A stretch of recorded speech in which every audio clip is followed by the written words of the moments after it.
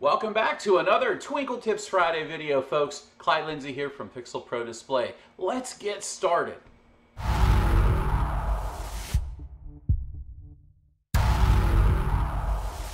Well guys, the reason why I wanted to do this video this week is because it's something that I really haven't touched on a whole lot. I've mentioned it in a number of the webinars, but I don't think that many people have actually seen what this can really do to your show or to your layout. Right over there is a Megatree star. Maybe you don't have as many pixels on your Megatree star as this one is, but you can take this prop kind of to the next level. And one of the things that many people don't consider is that with that many pixels, you can create some designs with inside that model, the submodels, and really bring out some interesting features and show off that star in a different way than what you're used to. So what I want to do is I want to go into the submodel dialog.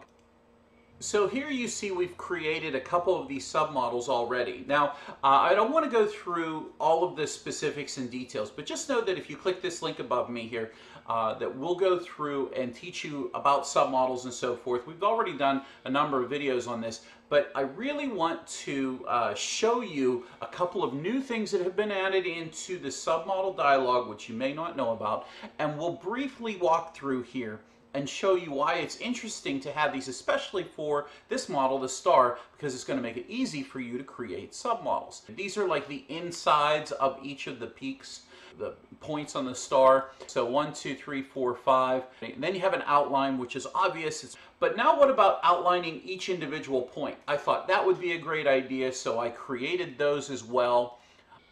So here's this interesting new addition that has been added in and that helps you create some models rather easily. Let's go ahead and just, uh, I've selected the bottom, it says bottom there, and I'm hovering over top of the node ranges. If I right click, there's this function here that does something called symmetrizes or uh, a rotation around the prop and it finds like submodels if you've already created them. So with this submodel, what I want to do is I want to duplicate it, but I want to do it five times because the star has five points, so it's going to have five pretty much equal settings on the inside of it. And xLights can symmetrize it, uh, and if we change this number from 8, we'll change it to the number 5, click OK. Now you see that we've symmetrized this and we've got a whole submodel. I have another couple sets of models that I want to duplicate. I created this hook right and a hook left. And I want to use this for mapping some effects from maybe some of the high definition props into the star. Let's go ahead, hover over top here, symmetrize this five times, and now we've got ourselves some hook right. Let's go on the hook left here. Let's go on the hook left here and hover over top of this, symmetrize, right click and symmetrize, and we'll do five. And uh, there's five with the hooks going the opposite direction. And let's see, we have a couple rings here in the center that I just drew out. Those are real simple. Now what, what are we gonna do? This is the big question. How do we deal with this neat little addition that we put here? If we go over here onto the layout here, under the model layout, what we can do is we can begin adding these into our existing submodel groups when we're mapping our sequences or when we're programming, where these will get automatically programmed as we sequence the show that we're doing the song for, right? If we say point one through five, what would that be a good fit for? So let's go ahead and begin adding some of these submodels into some of our existing groups. Let's do outlines for point number one through five. Now I'm holding the shift key and they're all, all together there. I'm gonna right click, uh, add selection to existing group. And we'll go ahead and put this on the spinner big arms. So we'll go down to the spinner, spinner big arms, right there, right there, spinner big arms. Click OK. Okay, let's go ahead and add in the um, arms inner, arms inner, that's, that's kind of those new ones that we just did, those arms inner, um, all, we'll do the arms inner all, uh, and we'll put that right click and add selection to group uh, for snowflakes, SN, snowflakes, we'll do that for the snowflake arms. All right, click on this again we'll go ahead and put ring one and two with Let's do the add selection to existing groups, snowflakes. Let's see, snowflake rings, we'll say that. See how they're hit, uh, highlighted with those as well? So now you know that they're in there. So let's go to the outline next. We'll put the outline, let's put that in, add selection to the snowflake tips. We'll do that. Finally, we're gonna go through, finally we'll go through and uh, we'll do the hooks right and left. We'll go with the hooks left next and we'll uh, create a, uh, we'll add selection to the PPD wreath. Let's do some of that, right? The CC or the C clockwise. And so there, that's lit up with the PPD wreath there.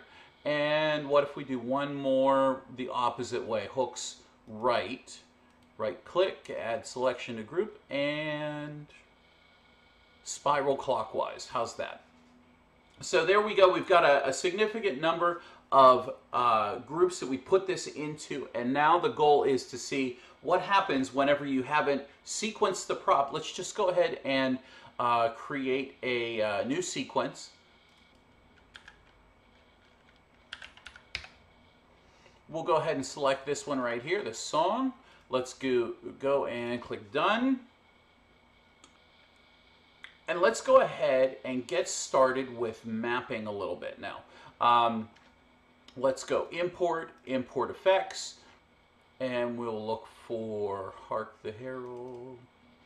So we'll go ahead and we're going to, since I'm mapping from one layout into another, I'm going to click the auto map button. Now remember the groups that we added this to, we added this with the clockwise spiral and clockwise, uh, counterclockwise spiral. We added snowflake tips, rings, arms, and spinner big arms. So there's plenty of sequencing in those areas that will help kind of exemplify uh, the extra sequencing on the star. Let's go ahead and click OK, and we'll go ahead and render the sequence out.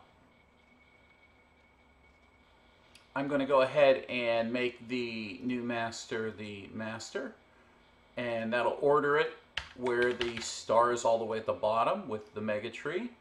So here we are. We'll go ahead and we will play the sequence. Let's have a look at it.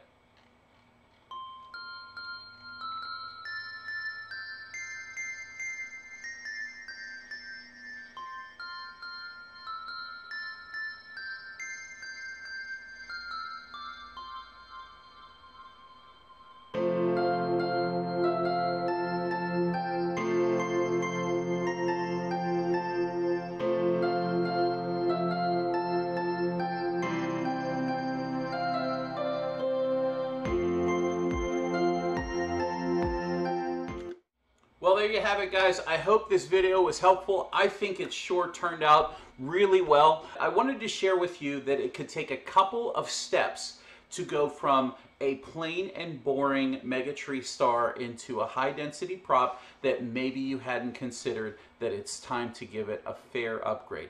Guys, thank you for joining us in this tips and tricks video. Just so you know, there's an awesome little announcement today. We're running a Labor Day weekend sale. You can get a significant number of sequences that are the original layout sequences, and you can get them for $30 a piece. Go check out the PPD Sequence store. Look for the little sale icon on any one of the sequences that have them, and those songs are on sale. Go check it out. If you haven't done yet, so hit the big like button. I hope you liked the video, and if you didn't subscribe to the channel, please do so. And by the way, if you appreciate the things that we do here at Pixel Pro Displays, consider joining the PPD Sequence Club where we do one awesome sequence each and every month and you get to spend your time focusing on building your holiday layout show the way that you want to do it. Guys, thanks for joining us. Have a great weekend and we'll see you in the next video. Take care and bye for now.